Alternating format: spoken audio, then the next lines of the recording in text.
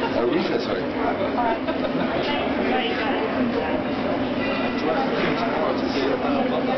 Are you?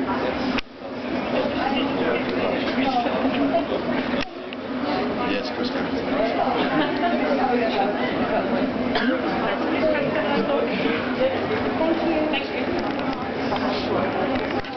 Okay.